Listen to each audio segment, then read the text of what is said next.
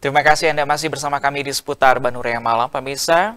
Kualitas dan produktivitas UMKM terus dilakukan pemerintah dan instansi terkait. Salah satunya dalam karya kreatif Jawa Barat dan Pekan Kerajinan Jabar. Ditargetkan terjadi perputaran uang sebesar 15 miliar rupiah dalam kegiatan tersebut.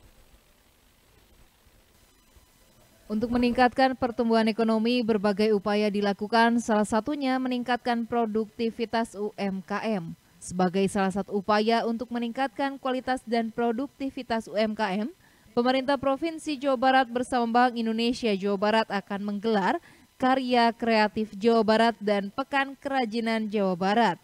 Ditargetkan pemasukan sebesar 15 miliar rupiah dalam kegiatan tersebut berasal dari omset penjualan UMKM dan realisasi pembiayaan kepada UMKM dengan kriteria khusus seperti yang bergerak di bidang ekonomi hijau dan ekspor. Menurut Muhammad Nur, pihak Bank Indonesia pun bekerja sama dengan Kementerian Perdagangan agar UMKM tersebut bisa mengekspor produknya. Alhasil saat ini sudah ada 30 UMKM binaan yang mengekspor produknya.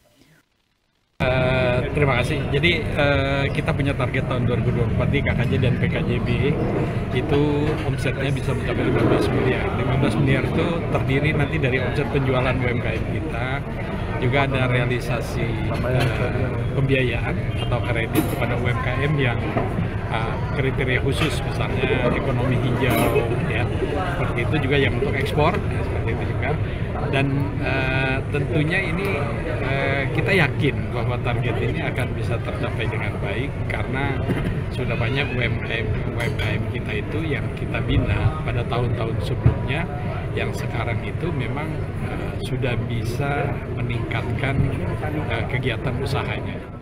Upaya memperkuat ekonomi hijau, keuangan digital, dan inklusif, serta iklim investasi untuk kemandirian ekonomi Jawa Barat yang berkelanjutan juga menjadi tujuan utama digelarnya kegiatan tersebut. Budi Hartati, Bandung TV